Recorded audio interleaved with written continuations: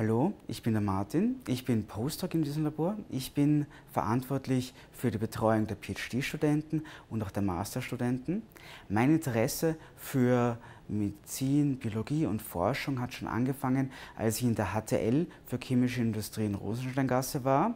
Weiters habe ich dann meinen Bachelor in Genetik und Mikrobiologie gemacht, meinen Master in Molekularbiologie mit Schwerpunkt molekularer Medizin.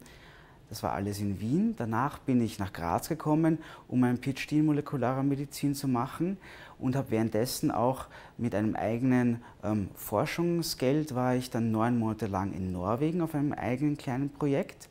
Jetzt bin ich wieder hier und arbeite an der Alterungsforschung und werde in Zukunft auch später an einem eigenen Projekt in der Neuronenbiologie arbeiten. Und wenn ihr wissen wollt, was ein Gruppenleiter so macht, dann schaut euch doch das Video von Corinna an.